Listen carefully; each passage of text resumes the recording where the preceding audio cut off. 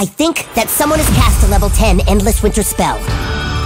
What are you suggesting, Elf? Stan has been acting strange ever since he thought his version of the rules were best. I was gearing up my army to get to him and force him to talk to me to see what he was up to. But then the new kid came and got in the way.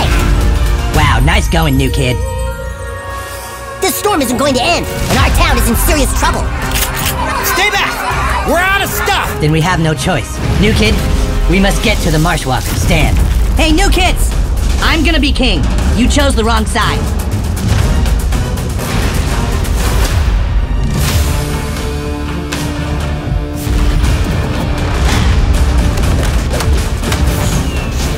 Ha! The new kids are dead!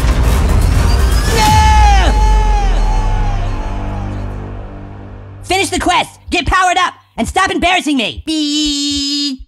I cast a spell, your health is back to 100. Get the fuck up. God, I have to do everything around here.